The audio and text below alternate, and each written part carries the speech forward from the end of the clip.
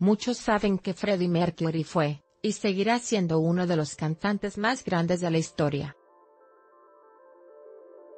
Sabemos de sus aportes a la música, y su influencia en otros artistas que también dejaron una estela imborrable en los anales de la música, como ejemplo George Michael. La prensa británica llevaba tiempo especulando sobre el estado de salud de Freddie Mercury, pues se le veía pálido y con una delgadez sumamente notoria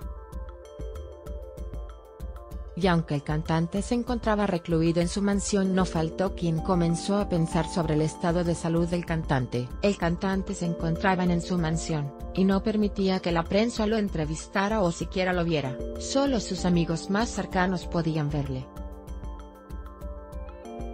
Estaba en una situación delicada, sedado, sin poder mantenerse en pie y sin apenas poder hablar. Una de las personas que lo pudo ver fue Montserrat Caballé, con quien mantenía una relación muy cercana.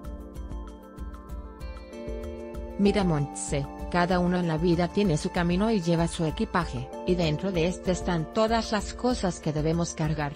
Yo llevo mi equipaje igual que tú llevas el tuyo.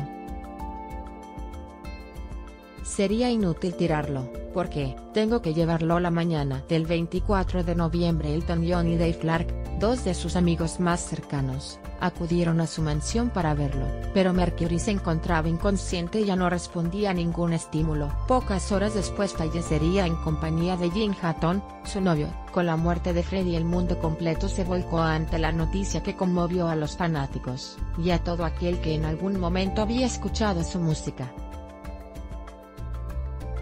Freddie Mercury quiso que en su funeral se escucharan algunas canciones, entre ellas Barcelona, que interpretó junto a Montserrat Caballé.